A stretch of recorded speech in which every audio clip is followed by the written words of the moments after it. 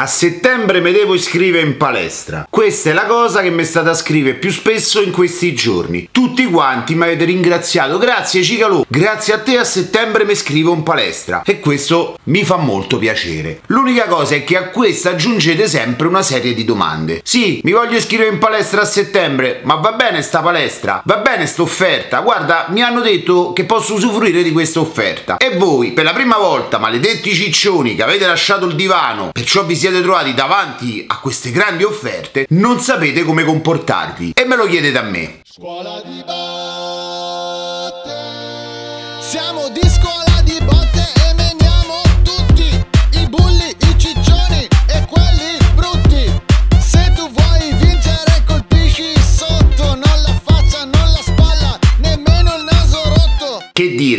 visto con quelle facce da fessi e vanno proposto sicuramente qualche offerta. E voi dite, ma io come faccio a capire se è una buona offerta, una cattiva offerta? Se fa il caso mio, perché dovete anche valutare se fa il caso vostro. La prima cosa che vanno offerto sono gli abbonamenti annuali. Allora voi mi dite, oh, al mese costa 80, ma hanno offerto 60 o 50 per 12 mesi, che dici? Me faccio l'abbonamento annuale. Ma se vanno offerto 50 al mese per 12 mesi sono 600 euro che tu cacci e tiri fuori. Se tu ne paghi subito 60, 70, 80, quelle che so, per singolo mese, intanto cacci 60-70 euro. Se io ti dicessi fate l'abbonamento tutto l'anno all'autobus, no? O fatelo tanto un mese, tu che fai? Non sapendo se st'auto va bene, passa, funziona, ti servirà nei prossimi mesi o paghi tanto tutto l'anno. Te sei dato la zappa sui piedi, gli hai dato i soldi in anticipo. Fate un mese, vedi com'è, se la palestra ti va bene, ragioni se fate sta annuale, gli chiedi se c'è un semestrale. No, ma hanno detto che lo devo fare adesso perché è rateizzabile solo adesso. Ma chi va a detta sta cosa? Poi i finanziari che fanno? Rateizzano solo adesso? No, perché dopo non lo rateizzano più, alzano i prezzi. Ah, e allora siete fessi voi che ci credete. Un altro mi ha scritto, mi fa, ah Cicalo, ho trovato una palestra con numero limitato di persone. Se mi affretto adesso, riesco a rientrare in quel numero limitato. Che vuol dire? Cioè, c'è sta una palestra che decide di far entrare un tot di persone. Cioè, questi pagano l'affitto, pagano gli istruttori, pagano la struttura, pagano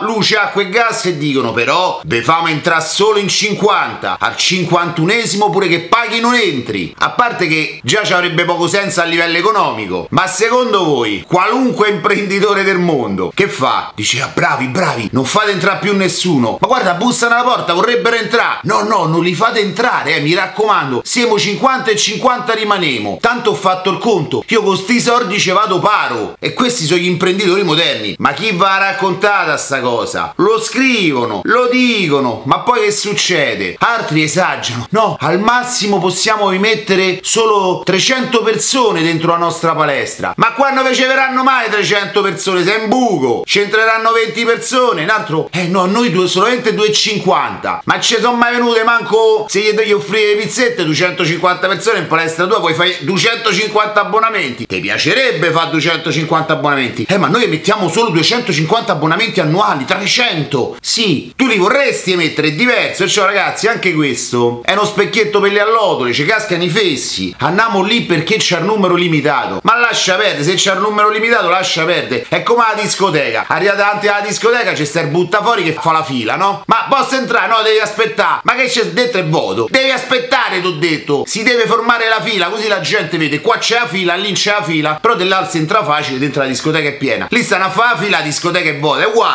Così sembra che la palestra nostra è esclusiva. Ragazzi, i soldi sono i vostri. Teneteveli da conto. È vero che bisogna spenderli in cose importanti come il mangiare bene, la palestra, ma non li dobbiamo nemmeno buttare questi soldi. Altri ancora mi hanno detto, ah Ciro, io da quella palestra. Hanno detto che sono la migliore palestra d'Italia. E già partiamo da un presupposto. Hanno detto, chi l'ha detto? La palestra. E grazie al cacchio, che poi di che sei la peggiore palestra d'Italia. Se sei un megalomane dici che la tua è la palestra migliore d'Italia. Se sei una persona onesta dici che la tua è una buona palestra in base al tuo criterio. Tanto valutate perché se colui che vi presenta la palestra fa il megalomane, già partiamo male. Questa è la nostra palestra, è la migliore d'Italia, forse una delle migliori del mondo. Io già diffiderei da uno che si presenta così. Vai a un ristorante, questo dice, questo è il miglior ristorante del mondo. Scusi, ma ha ricevuto qualche encomio? Non so, c'ha le due stelle Michelin. No, no, guardate, il nostro chef è il migliore del mondo. Ah, e perché ha fatto il campionato mondiale dello chef più bravo del mondo. Presidente lui, federazione lui, partecipava solo lui. Allora sì, è il più bravo del mondo. Pertanto, cari amici, quando è così, ma lasciate perdere, la nostra palestra è la migliore, siamo i più bravi del mondo, i più forti, abbiamo gli istruttori migliori perché sono tutti più forti. Chi si presenta così è già un brutto biglietto da visita. La palestra è riconosciuta a livello universale come una buona palestra. Motivo, ci sono persone che ne parlano bene,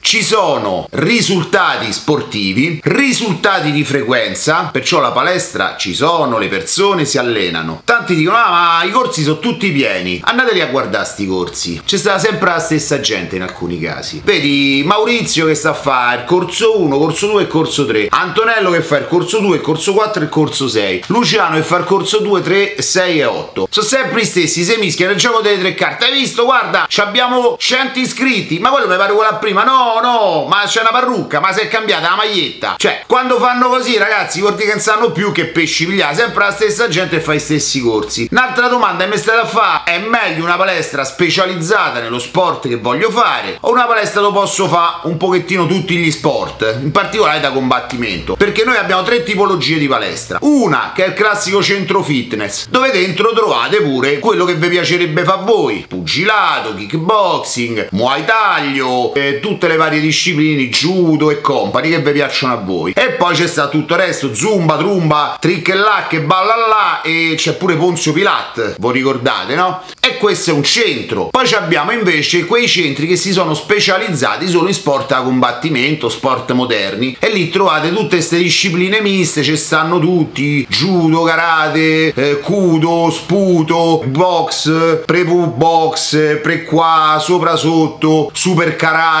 super kickboxing, super MMA, ultra campioni, eccetera, eccetera. E poi c'è sta la palestra specifica di quello sport. Per esempio, una delle cose che a me piace più è la palestra che fa solo pugilato e attività connesse. Voi direte, eh, ma non è un po' limitante? Se voi andate al ristorante, no? Ve volete mangiare la pizza quella sera? Dove andate? A una pizzeria rinomata che fa la pizza buona? Oppure andate da Ciccio o Scoreggione che fa un po' tutto? Cucina cinese, giapponese, thai, italiana, americana, cucina della luna de Marte, dell'universo, mischia tutto, butta il dolce sulla pasta, sulla pizza, invece sputa sopra, se leva le caccole. Mischia troppo non fa bene, il troppo stroppia. Valutate bene, io il mio consiglio è scegliete una palestra che sia focalizzata su quella disciplina che volete fare. Se vi ritrovate una palestra dove tutti fanno tutto, ah guarda, qua famo questo, poi se buttiamo per terra famo quello, poi guarda tutti insieme, che almeno abbiano delle sale separate. Tu non puoi fare pugilato e judo insieme, perché non c'ha senso. Poi se iniziano a tirare fuori queste arti marziane, queste super tecniche segrete, lasciamo proprio perdere. Eh no, ma qui facciamo pure le tecniche segrete. Ma scusa, ma se non c'hai delle sale separate, no? Questi quando fanno le tecniche segrete io me le guardo, poi le imparo e dopo le applico e so cacchio, capite? Allora vuol dire che sono tecniche segrete che tutti le stanno a vedere. Le palestre migliori per me sono quelle dove vai, fai la tua bella lezione prova e non senti da subito siamo i migliori, abbiamo qua, abbiamo là, ma ti accorgi subito che ti stai allenando. Cazzo, è tosto allenarsi. Quella è la palestra migliore. Quella che inizia, oh, si riempie la bocca di parole, oh, abbiamo, facciamo, siamo, lui, lui ha fatto, eh. Cioè, se tu stai un quarto d'ora a raccontarmi, a me fai perdere un quarto d'ora d'allenamento. La palestra deve essere, sei entrato, ecco, poggia la borsa, ti sei cambiate le scarpe, bravo, vatti allenare. Ti sei messi i guanti, no, sbrigate, perché la gente non aspetta a te. Questa è la palestra. Poi, un'altra cosa importantissima, la palestra deve essere pulita, deve essere ordinata, deve essere tenuta con cura. È una cosa che vi accorgerete subito, quando vedete la roba buttata per terra, l'attrezzatura sempre così sparpagliata, c'è qualcosa che non va. È un ordine mentale che bisogna avere dentro la palestra. Non esiste tenere attrezzatura per terra, signori. Ci sono degli scomparti. Io non è che lasci i guantoni da una parte, lascio un sacco buttato dall'altra, lascio i colpitori poggiati così, quello là, tutti che fanno colà, borse lasciate in giro. Ci deve essere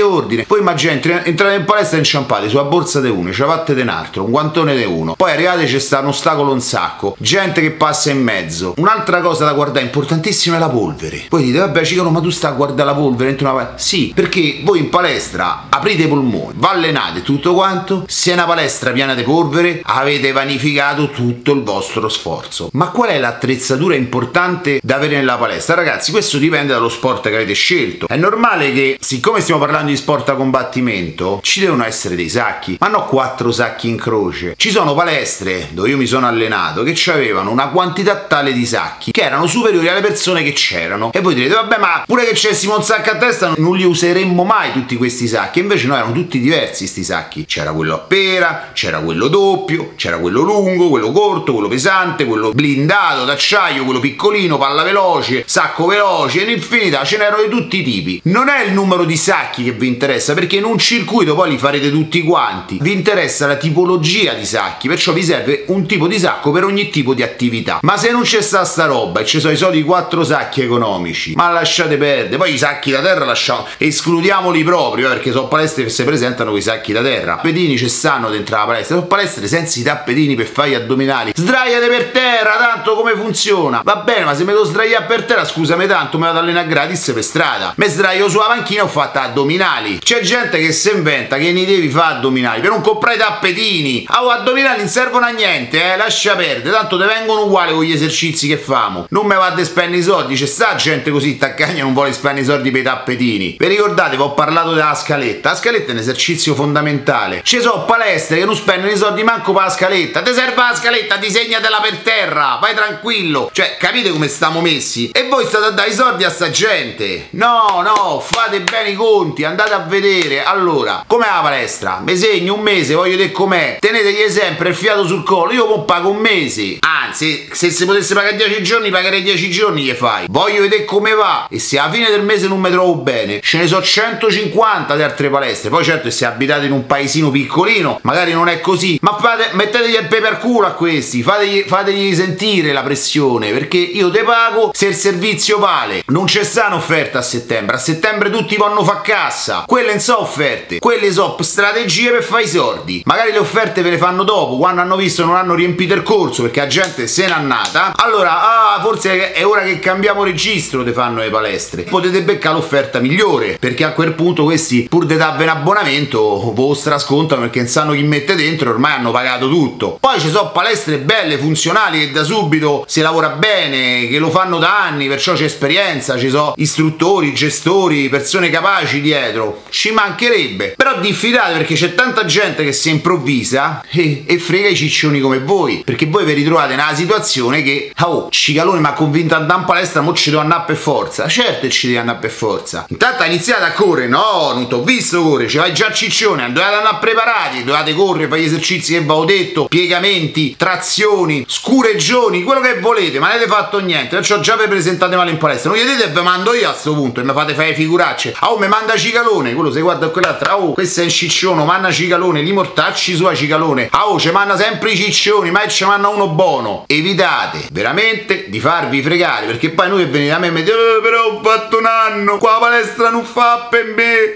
fanno un casino, puzza dei piedi, scureggioni, gente incapace. E lo so, che t'ha detto fatte l'annuale, fatte il mensile, fa schifo, un mese dopo te ne vai. E il primo mese va bene perché te se vanno te ne strette, il secondo fa cagare, e il secondo mese te ne vai. Spendi un po' di più, ma almeno sei sicuro, capito? Eh, però se avessi fatto l'annuale, mo sono sei mesi che sto dentro. Eh, vabbè, è inutile piangere sul latte versato, specie per i ciccioni che versano pure la Coca-Cola, quelli poi piangono, uh, la Coca-Cola come faremo? Ragazzi, datevi da fare, allenatevi, iscrivetevi in palestra, ma con due occhi così grossi, controllate, che è sta roba, che state a fare? Ci vediamo alla prossima!